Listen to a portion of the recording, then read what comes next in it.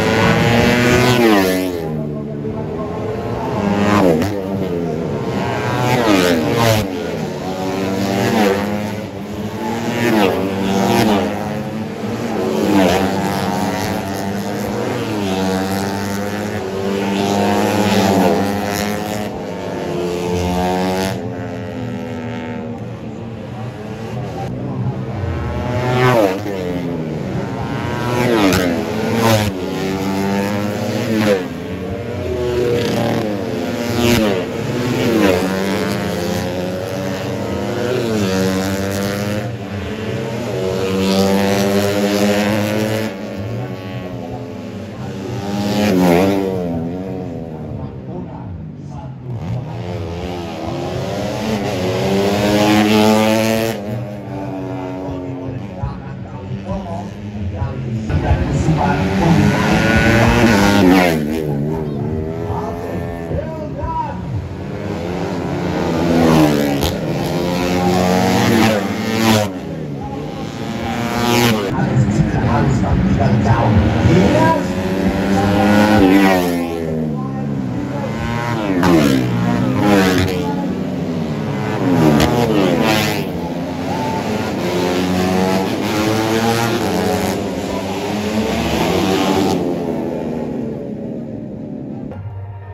Dan sang juara Ansel Ilham sudah tidak hanya double winner kayak yang hari ini. Tim Piston silakan untuk menyerahkan atau menganugerahkan tanda penghargaan bagi lima terbaik kita